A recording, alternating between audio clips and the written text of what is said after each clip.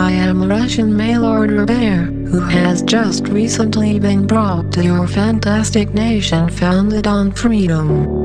Recently, my master took me to a place you Americans call it.